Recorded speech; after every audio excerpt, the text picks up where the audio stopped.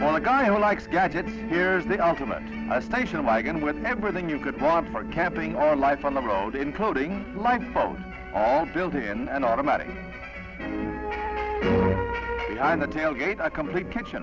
While Dad is out boating, Mom gets the meal ready in case he doesn't bring back any fish. She's got a refrigerator.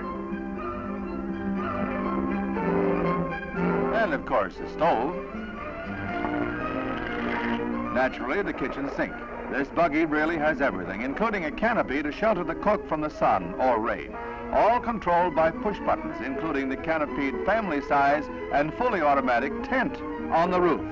Alas, if those push buttons have you starry-eyed, this is one model not for sale. It's a dream car, strictly experimental, and the cost of production is even more impressive than all the fancy features.